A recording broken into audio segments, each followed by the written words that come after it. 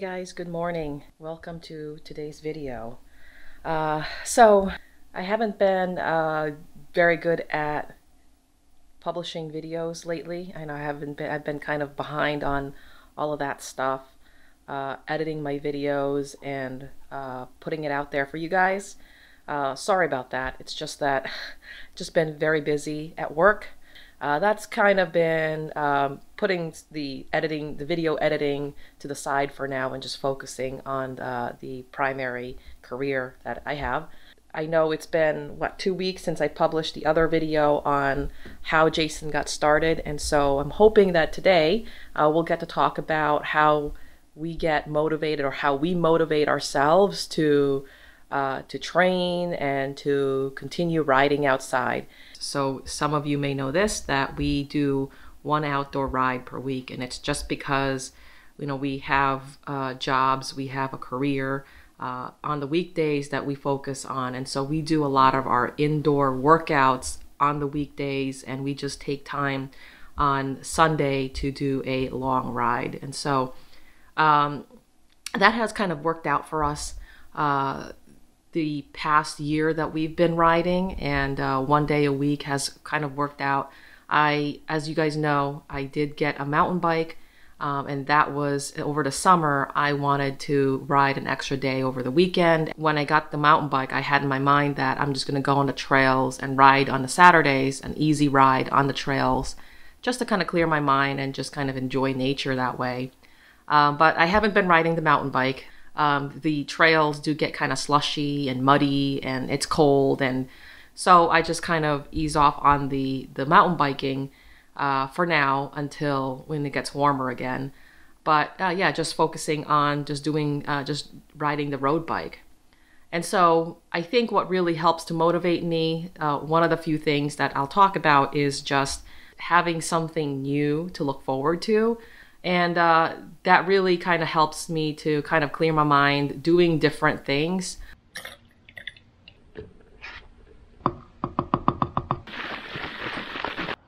Good morning. It's uh, sunday so that means we're doing a, uh, a longer ride today. Fortunately we get to ride outside and it's actually warmer than we thought it would be. Um, I'm guessing it's in the 50s Fahrenheit maybe right now. It's we we thought it was um, it was going to be cloudy all day, but currently it's sunny. So um, I'm not sure if we're might be overdressed a little bit. Um, a couple weeks ago we went on a on a ride and uh, it was supposed to be similar temperature, but we ended up feeling cold the whole time.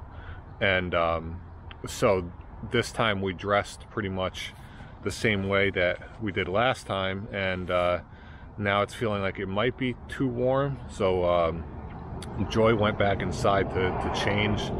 I think I'm pretty much just gonna go with what I got um, and I'll just shed some layers. Uh, we're doing a a new route today going to into Roxbury Connecticut. It's supposed to be around 38 miles with 4,000 feet of climbing, so it's a it's a decent amount of climbing. Uh, Roxbury is pretty hilly. I remember the last few times that we went there, it was a lot of climbing, so um, should be fun. So that's the thing with the changing temperatures here in Connecticut is that we don't really know exactly how to dress in these different conditions because you never know if it's going to get cloudy and it's going to get cold. So we'll see how it is today. So guys, I was uh, talking about motivation this morning while I was getting ready. Let's hear from Jason how he uh, motivates himself to work out. I always just feel better after I work out. I just feel like I got something accomplished and um, it just makes me feel good for the rest of the day. I actually don't feel great. On, my off days, I actually don't feel great. On my, my off days, I feel kind of sluggish and uh, working out just invigorates me and um, it just makes me feel better the rest of the day. So I always just remember that, you know, before if I get up one day on a on a workout day and I'm not feeling that great, I just remember the fact that I'm gonna feel better after I do this workout.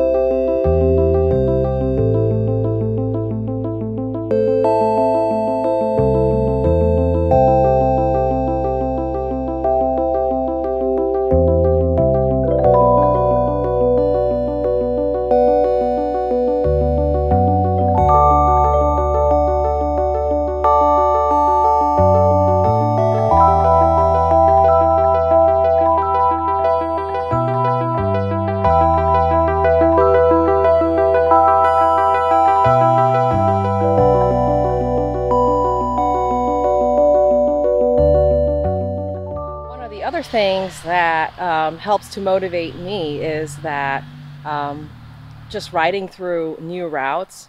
I love exploring through different parts of Connecticut and seeing what unexplored roads look like on a bike. And so I just, uh, that really, that's what gets me going. That it kind of excites me when I wake up in the morning knowing that we have new roads to explore. So today, for example, uh, I've driven through these roads before uh, when I went mountain biking in the Wal- in Waldo State Park, but we are going to be riding there, and it's really pretty because we have the um, Lake Zoar, and uh, yeah, that's a nice, beautiful spot to kind of ride through. I know I've probably said this several times before, but just spending time with Joy. Uh, this is our our favorite hobby that we do together, and it's um, ever since we started riding together, we've we've been spending a lot of time together, especially on the weekends, and uh, I always look forward to that. So I I look forward to this Sunday ride that we do every every week. I look forward to it throughout the week. It, it keeps me me motivated throughout the week to you know to get back to the next Sunday so I can do it again. And like Joy was just saying, we get to explore uh, some areas that we've been by car before, but not, uh, you know, not by bike. And it's, just fun to, you know, to ride through some of these, um, these routes that we used to think were, were pretty far from home, but they're really not that far uh, when you just get out and, and, and explore it and give it a try. So yeah, I also like the exploration aspect of it, of riding outside. And again, the ability for us to, to spend quality time together and you know being active which we both like. Oh and by the way it's uh, it's actually turning out to be a pretty nice day today. I was saying before we uh, we started riding that um, I was going to shed some layers and uh, or thinking about it and I ended up doing that and very glad I did because we've already hit a decent amount of climbing uh, at this first pit stop, and um, I started sweating on those climbs. So yeah, it's it's actually um, very warm for this time of the year. Uh, so it's it's turning out to be a nice day. I'm really looking forward to the rest of this ride.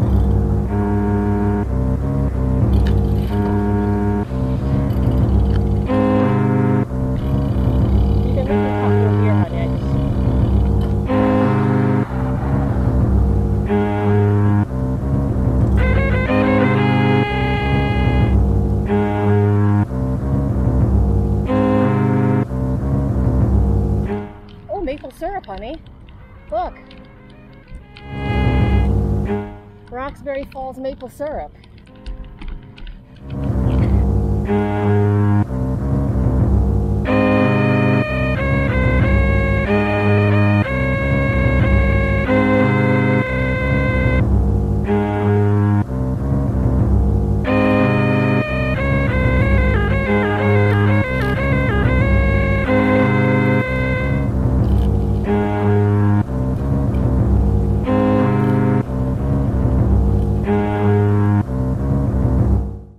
Like I said earlier today, that I like to do th- something something new just to kind of change up my routine. And lately, I have been taking up running. And I got this training plan from Runner's World. It's like a free training plan they have on their website, and it's a run walk uh, training plan. I'm not doing the walking portion of it, so instead, what I'm doing is I'm doing my hard efforts, uh, and then I'm I'm my, my easy recovery efforts are just a slow jog. So I'm not actually walking but yeah that's been actually keeping me actually i've kind of like revitalized my whole running uh, thing that I did a couple of years ago. And so I'm actually starting to do that, and I actually look forward to my workouts now because I, am doing. Uh, sometimes I'll be doing a VO2 max efforts, and then I do a run afterwards. But it's not a it's not a really heavy, intense run. So um, that's really been what helped me to kind of keep going uh, and keep doing this. I like following a structured training plan, and um, you know, doing workouts that are already designed by a coach and that are proven to be effective for whatever your fitness goal is, whether it's increasing endurance, uh, increasing you know your ability to do longer rides, or to just to increase your power, things like that. I've had, I think, some decent success so far in my uh, short cycling career by following structured plans and I like the way that the plans uh, progress throughout the weeks and months. Having having the plan all laid out for you in advance um, gives me motivation also because it gives me a schedule and um, like a goal to complete uh, each day or each week. So you know you have your long-term goal that you're you're training for, but then you can break that down at a more micro level into you know months weeks or even days and you know i feel a sense of accomplishment every time i complete a workout then i feel another even greater accomplishment when i complete a week you know completing a month and then completing you know the whole thing and it motivates me to to keep going and even if the workouts get hard um, knowing that if i just stick it through to the end i'll likely see good results and once I start doing something and and commit to it, I I don't like to to stop until it's finished. So once I commit to a decide on what training plan I want to do and then commit to it, I find it pretty easy to, to keep going because I, I have that end goal in mind.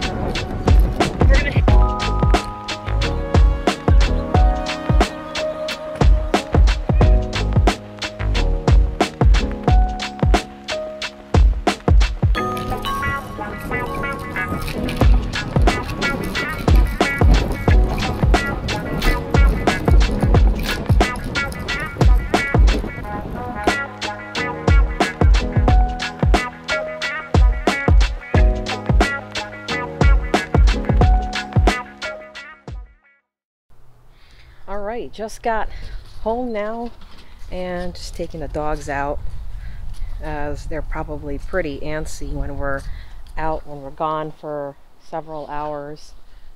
Come on, Maggie.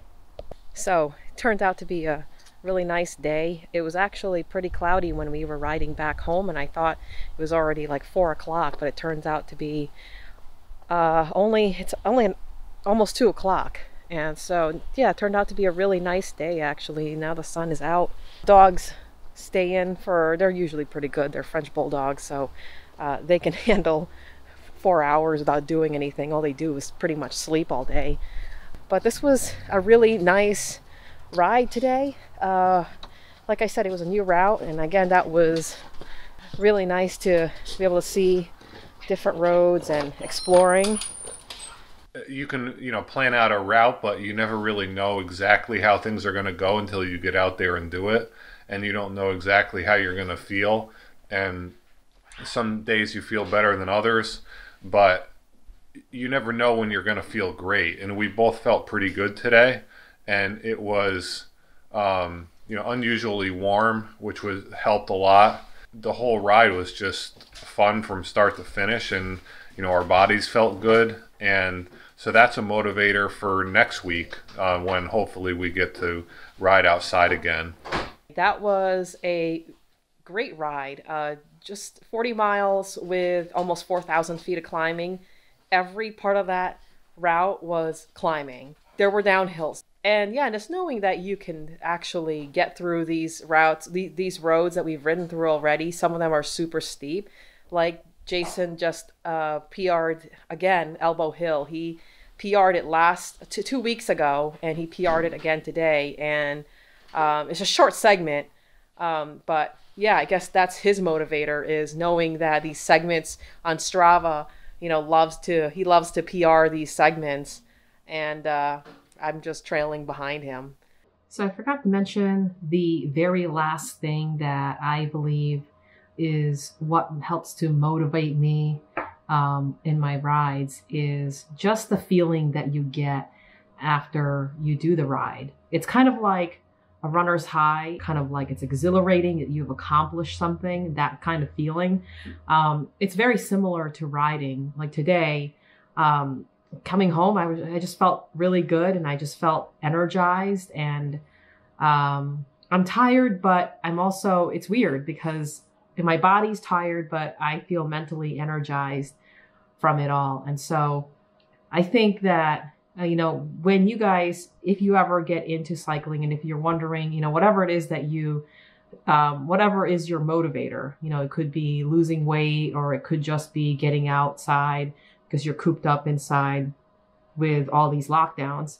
Uh, whatever your reason may be, you just make a habit out of it because once you make a habit out of it, you work out at the same time, you go for your rides in the same day, in the same time and uh, it does feel good to accomplish something like that. And when you start to feel bored with it, is when I think that you should venture out and try something else new. Like if you are riding around in your neighborhood and you're bored with that, let's say you've done it for a month, maybe venture out outside of your neighborhood um, and try other roads. And, you know, after that, when you get bored of riding around all the different parts of the roads, maybe use your phone as uh, and then turn on Strava or whatever uh, app that you use to track your rides. Being able to see your progression over time definitely helps to, you know, give you that boost. Yeah, that's all I really wanted to to say at the very end here, and um, I think that um, you know during this time of the year, people are looking back at 2020 and they feel kind of like, you know, nothing good came out of 2020. But I think that if you want to start with cycling or if you already are cycling, um, and if you are kind of in this, you know, lull where you just don't feel great anymore with riding, um, kind of try some of the things that we've mentioned before, and hopefully that helps. So that's it for today's video, guys. I hope that you had a, oh, by the way, sorry we missed this, but uh, happy belated Thanksgiving. And if we don't get a chance to publish anything before Christmas, then I hope you have a very Merry Christmas or Happy Holidays if you don't celebrate Christmas. Um, whatever it is, I do hope that you take the time during the holidays to just spend it with your family and eat lots of food, and just think about some of the changes or what changes you're going to make uh, moving forward to get in that track of maybe staying healthy or getting to cycling. Until next time, don't forget to enjoy your rides. Bye bye.